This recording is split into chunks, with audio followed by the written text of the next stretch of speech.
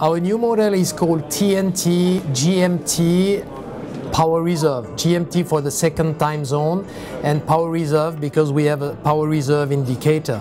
The power reserve down at 7 now is fully winded. That means now we have the 42 hours uh, power reserve. The most important function on this watch is the GMT function. That means when you are traveling, you adjust the time only by handling the crown, hour by hour in both directions. The date adjustment is the third, the third N, and very easy by small pressure on the push button you can adjust the date to the to the right day.